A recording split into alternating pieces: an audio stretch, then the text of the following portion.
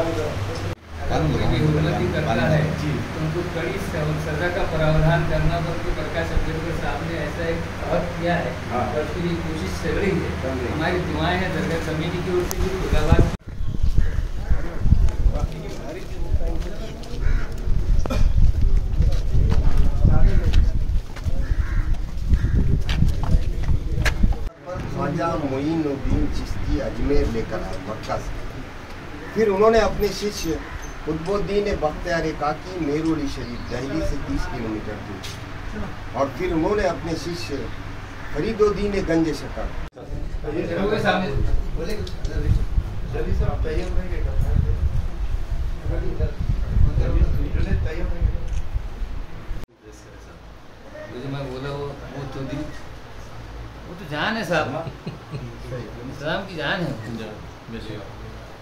अगर उनसे प्यार नहीं है तो मुसलमान ही नहीं सही